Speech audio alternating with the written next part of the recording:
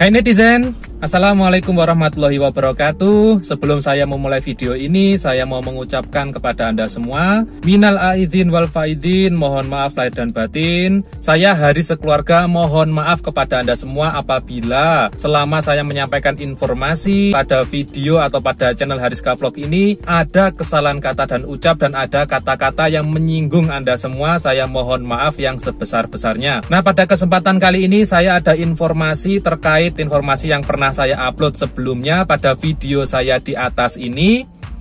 Di sana saya menjelaskan tentang adanya termin ke-10 dan kali ini saya sudah mendapatkan SK-nya ya atau surat keputusannya berapa jumlah KPM-nya dan lain sebagainya. Nanti saya akan sampaikan pada video ini. Berikutnya pada video kali ini juga saya akan menyampaikan akan adanya giveaway bagi Anda yang beruntung. Giveaway ini termasuk e, rasa syukur saya karena pada channel Hariska Vlog ini sudah mencapai angka 10.000 subscriber. Nah, karena kemarin saya belum sempat membuat video tentang giveaway 10.000 subscriber. Nah, pada kesempatan kali ini saya ingin membuat video video giveaway kepada Anda semua. Giveaway ini nantinya akan saya berikan kepada lima orang yang beruntung. Caranya sangat mudah, nanti bagaimana caranya silakan Anda simak video ini sampai selesai. Baik, sekarang kita masuk ke topik pembahasan kita yang pertama yakni tentang pencairan PKH tahap kedua termin ke-10.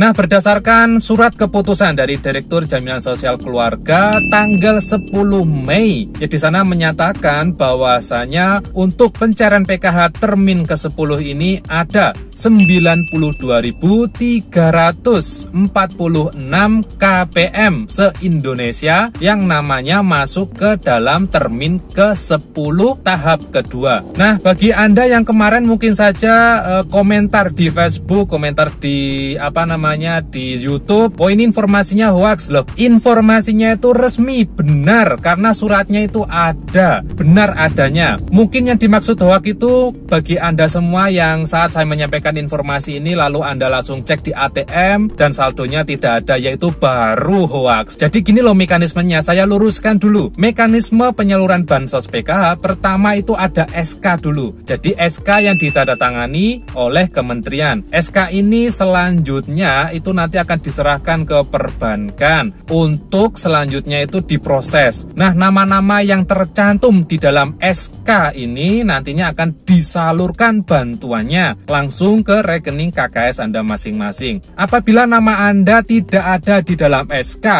maka jelas bantuannya ya tidak disalurkan karena tidak ada di dalam SK. Namun, apabila nama Anda ada di dalam SK, nah itu nantinya akan disalurkan. Untuk penyalurannya kapan? Ya jelas tidak saat SK ini turun. Untuk penyalurannya ya ini rentang 1 sampai 2 minggu setelah SK ini turun ya ada perbankan atau bank penyalur yang cepat memprosesnya itu ada. Ada yang butuh waktu beberapa hari itu ya ada. Jadi untuk penyalurannya itu tidak serentak se-Indonesia karena bank penyalurnya kan juga beda-beda. Ada empat bank penyalur untuk PKH ya, empat bank himbara. Ada BRI, BTN, Mandiri, dan BNI. Nah, tiap-tiap bank kan juga regulasinya berbeda-beda. Jadi waktunya juga tidak mungkin serentak dalam satu hari seluruh Indonesia tersalur ya tidak mungkin ya. Jadi perlu dipahami, informasinya tidak hoax. Yang hoax itu mungkin saja saldo Anda itu tidak ada di dalam e, kartu KKS karena nama Anda mungkin saja tidak masuk di dalam data bayar.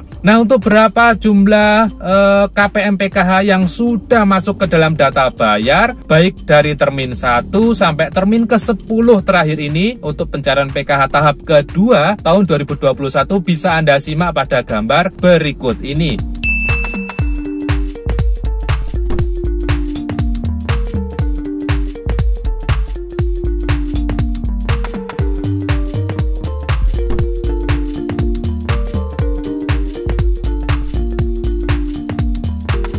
Nah tadi itu jumlah penerima PKH yang bansosnya disalurkan di tahap 2 ini. Bisa Anda simak tadi itu ada berapa jumlah di tiap-tiap termin pencairan. Jadi tahap 2 ini uh, untuk pencairannya itu uh, tidak satu kali selesai ya. Jadi ini ada beberapa tahap atau termin pencairan. Hingga video ini saya upload itu sudah ada 10 termin pencairan. Dan untuk pencairan termin ke-10 ini kemungkinan besar akan disalurkan uh, setelah hari raya Idul Fitri ya. Karena kan hari ini sudah libur hari raya. Jadi kemungkinan nanti bantuannya akan disalurkan saat hari aktif setelah hari raya Idul Fitri. Jadi ditunggu saja.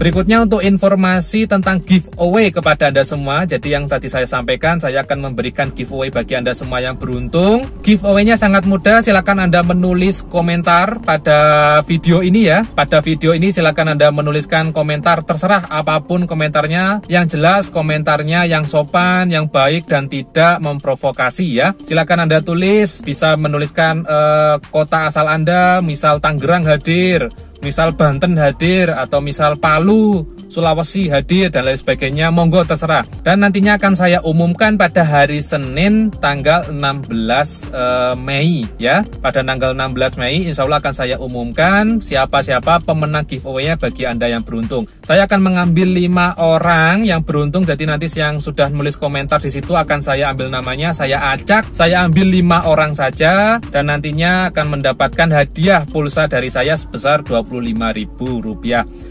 Seperti apa nanti mekanisme penyerahan giveaway-nya nanti akan saya umumkan pada tanggal 16 Mei. Terakhir nanti penulisan komentar ini saya batasi tanggal 15 Mei. Nah, mungkin itu dulu informasi yang bisa saya sampaikan. Sekali lagi saya Haris mohon maaf kalau ada kesalahan kata dan ucap. Misal Anda punya salah ke saya, sudah saya maafkan.